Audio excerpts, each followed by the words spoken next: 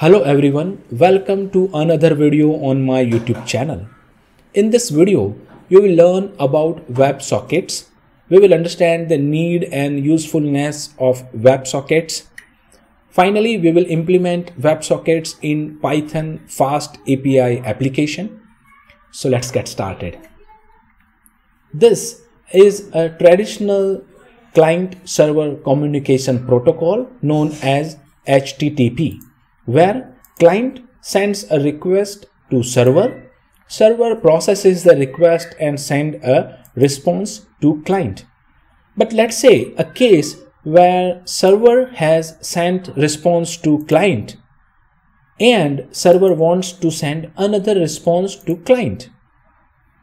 In HTTP protocol, this cannot be possible. You need a persistent connection like this between client and server so that at any moment of time client can send information to server and server then process the information and send response to client. After sending response to client server can also send another set of information to client cause the connection is persistent. Some of the use cases of WebSockets are chat or messaging application, live notification, live data streaming that happens in streaming of information like share market information. Now let's see how this works in action. You can see I have two identical interface in two browser tabs. It has input box and send button. So when I say hi here, you'll see that hi appears on another client as well. If I write hi from other side, let's say, you'll see it appears to the first client as well. And all of these is possible via WebSocket because this has sent a request. That request was processed and then that request also broadcast information to this client and this client as well. So let's see how this works. I have a main.py file which has my fast api application. On my home route i send http content and the content is here. This content creates a small input box with send button and you can see it connects to a web socket with a client id client id is date now.